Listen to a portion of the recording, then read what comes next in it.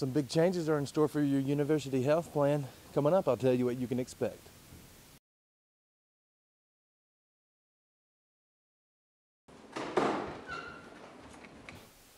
Student insurance policies at the University of Montevallo will be changing in time for fall 2011.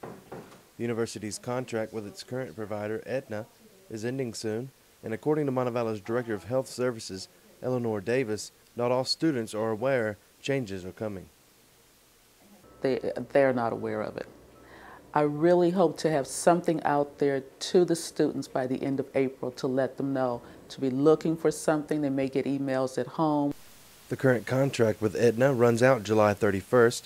Nurse Davis says there are three insurance companies she's looking at to provide for the university, and there are a couple things she'll be looking for in the new agreement. Primarily, I'm looking for a policy that's going to pay something on prescriptions.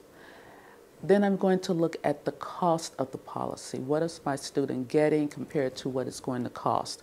And compare that across board with other companies. Now, as it stands right now, students' insurance is mandatory, but after the summer, students will have to voluntarily sign up. Ellie Frederick, a Montevallo senior and expected mother, likes the change. I think I think that's good actually.